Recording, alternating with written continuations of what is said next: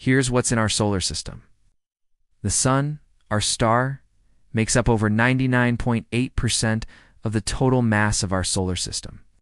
It's a giant ball of hot plasma that's constantly undergoing nuclear fusion.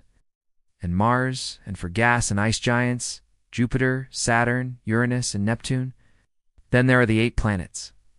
Four rocky inner planets Mercury, Venus, Earth. It's thought to have formed when a Mars sized object collided with Earth early in its history, ejecting debris that eventually formed our moon. Earth's moon is the fifth largest in the solar system.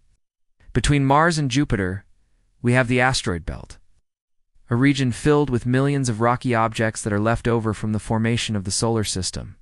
And beyond Neptune, there's the Kuiper Belt, a vast region of icy bodies that also contains the dwarf planet Pluto. Some of these bodies extend even further out into the Oort cloud, a region so far away that it takes 200,000 years for the sun's light to reach it. But remember, one astronomical unit, which is the average distance from the Earth to the Sun, is just 150 million kilometers, or 93 million miles. These are the incredible distances of our solar system, so vast that it's hard to comprehend.